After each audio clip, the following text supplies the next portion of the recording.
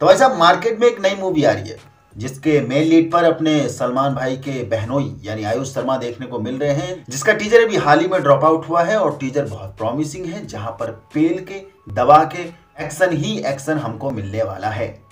जो little bit John Wick की vibe देखे जा रहा है, बागी की वाइब देखे जा रहा है, और अभी हाल ही में विद्युत जामवाल की क्रैक मूवी जो आई थी, उसकी भी थोड़ी थोड़ी वाइब देखे जा रहा है। और राधे फ़िल्म आई थी, याद है आपको सलमान खान की?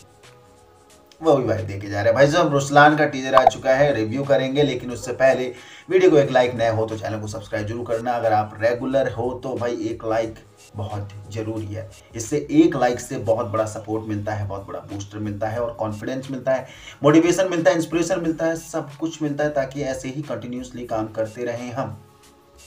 शुरुआत करते हैं बिना किसी बगैर भाई रुसलान का टीजर आ चुका है, जो बहुत ही दमदार है। एक्शन तो दबा के मिलने वाला है नो डाउट अगर आपने नहीं देखा है तो जाके ज़रूर देखना। फ़िलहाल इस मूवी की कोई इतनी हाइप है नहीं तो किसी ने फ़िलहाल तो नहीं ही देखा होगा। लेकिन हाँ मूवी से भाई वाइब आ रही है ढेर सारी। जॉन विक की भी, क्योंकि गन कॉम्बैट सीन में अगर ले लो तो भाई जॉन विक का वाइब एक बार के लिए देखे गया है। बहुत बड़ी मूवी है, बहुत बड़ा कंपैरिजन सेट कर दिया बट उतना ज़्यादा हाइप भी नहीं है।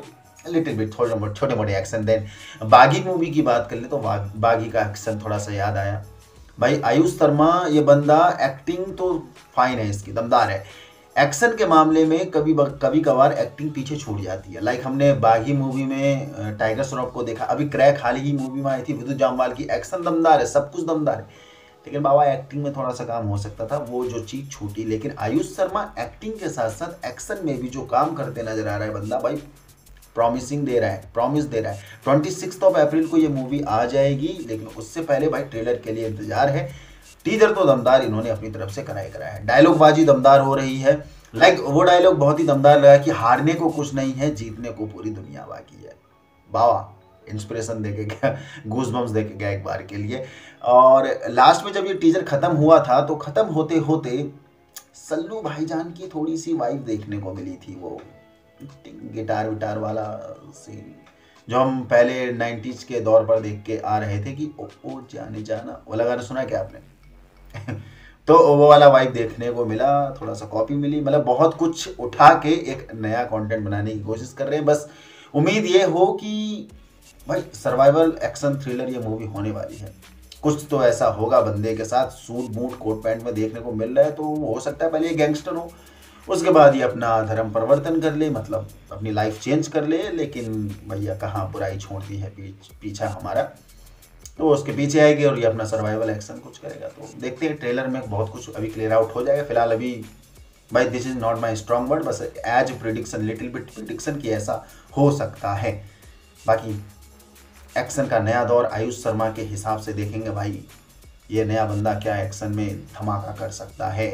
फ़िलहाल वो चीज़ ना हो कि एवरी टाइम स्लोमो स्लोमो डाल दे यार, क्योंकि लग रहा है टीजर से थोड़ा थोड़ा लग रहा है कि स्लो मोशन में बहुत कुछ एंट्री डालने की एक्शन डालने की कोशिश कर रहे हैं जो बोर कर जाएगा भाई।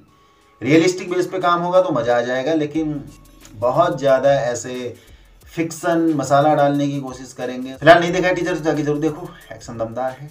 ट्रेलर के वेट करते हैं। Movie twenty six of April को आ जाएगी। आयुष शर्मा मेन लीड पर हैं। बाय यहाँ तक पहुँच गए हो तो वीडियो को एक लाइक कर दो यार। अब तो कर दो। पहुँच गए हो तो यहाँ तक क्योंकि पसंद तो आ ही गया होगा। बाकी सब्सक्राइब भी कर देना शेयर भी कर देना और बाय बाय